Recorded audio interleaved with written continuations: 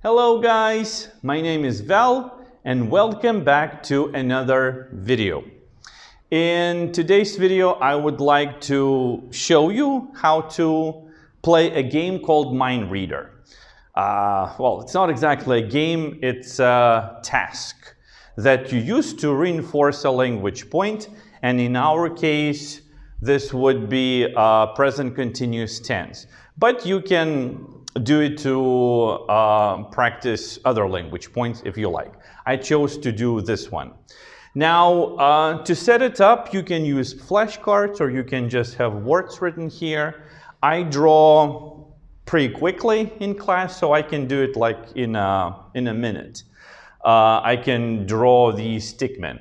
And um, this activity is designed in such a way that the students get to practice uh, the answers to this question. It could be what are you doing, or what is he doing, or what is she doing. Right. And um, it's pretty simple. You ask the question, you point at the square, and you elicit responses from your students. For example, what is he doing? He is sleeping. What is he doing? He is playing basketball. But here is Here's a catch. Uh, I think this activity is perfect if you want to build a rapport with your students. Because before you play it, you tell them, I can read your minds, hence the mind reader. I can read your minds. And everybody's going to say, no, that's impossible. How can you read our minds? And I'm like, you, I can prove it to you. I can show you that I can read your minds. And I'm going to show you. Now, look, for this activity, um, you will need help from your co-teacher or TA, uh, teaching assistant. Like, um, as far as I know, most of the teachers who teach, most of ESL teachers have um, TA or a teaching assistant, or sometimes we call them co-teacher in the classroom. So you would need to uh, get his or her help.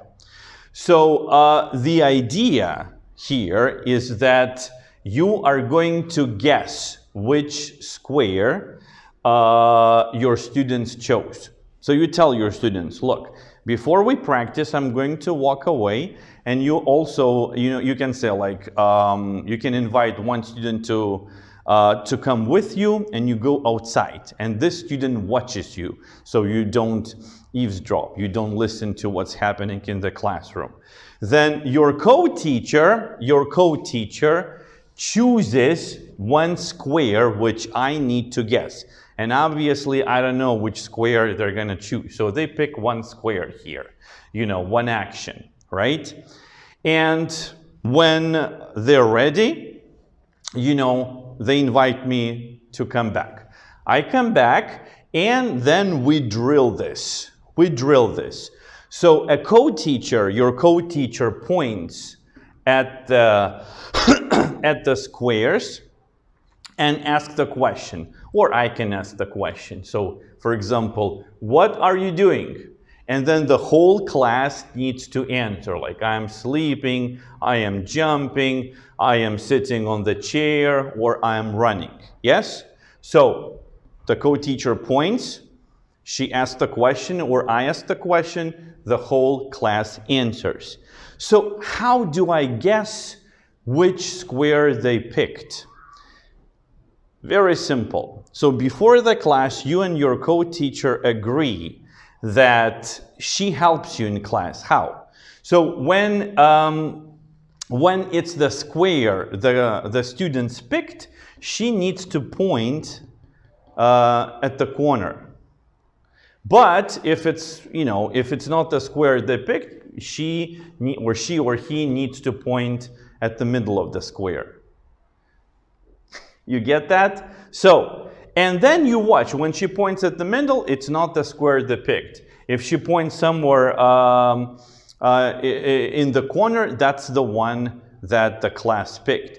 And obviously she shouldn't or he shouldn't stop, you know, at the uh, square um, where she's speaking uh, at the corner because it's going to be too obvious. You need to maybe elicit four or five uh, different, you know, like responses from your students. And then when it's over, you can say, look, I'm going to look you in the eyes, and then I'm going to guess which square you picked. And then you guess, and of course you are right, and they go bananas. They go crazy. They're like, how, how, impossible. What is this? And I'm like, I can do it all day. We can go again. Because again, you want them to practice, right?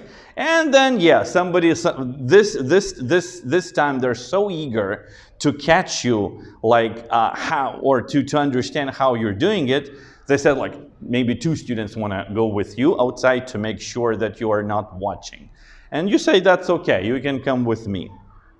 And then again, your co-teacher uh, and your students pick one square. Yeah, so for example, let's say they pick this one, uh, the, the, the, the, the running stick man. And this is the one I need to guess. and when it's all ready, they invite me in. And this time, because it's the second run, maybe I change slightly the sentence. So instead of what are you doing, I can change it to what is he? Excuse me, what is he doing? And then we start our drill, right? So what are you? So uh, the co-teacher is pointing, yeah? What are you doing? And they're saying, Wait, uh, uh, what, sorry, what is he doing? He is reading a newspaper. What is he doing? He is playing basketball. What is he doing? He is sitting on the chair. What is he doing? He is running. What is he doing? He is diving. What is he doing? He is sleeping. So I think you've noticed which square I pointed, which one is different because you know the secret, right? And I know it too. It's obvious for me. I can see which one is which. And then I surprise my students again. And they feel so happy, so surprised, so overwhelmed. And I believe it builds this rapport, this connection uh, that you as a teacher want to have you know, between you and your students or with your students. So um, I hope I explained it clearly enough.